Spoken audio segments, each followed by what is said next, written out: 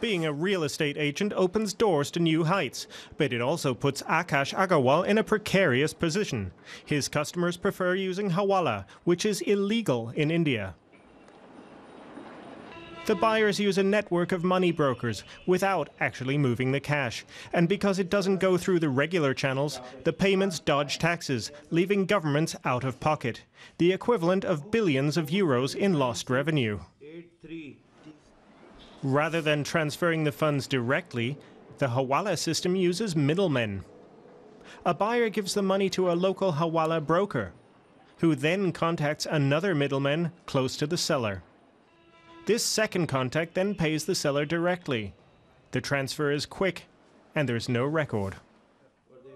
The system is widely used in Muslim countries. In some nations, many poor people rely on Hawala because it's often cheaper and more reliable than traditional banks. So many don't see anything wrong with it. How can people say this is illegal? It helps and supports poor people. Minimal costs bring maximum efficiency. Since the system is opaque, it also provides a way to mask money transfers to fund criminal activities, and it is also used by terrorist groups to move money around.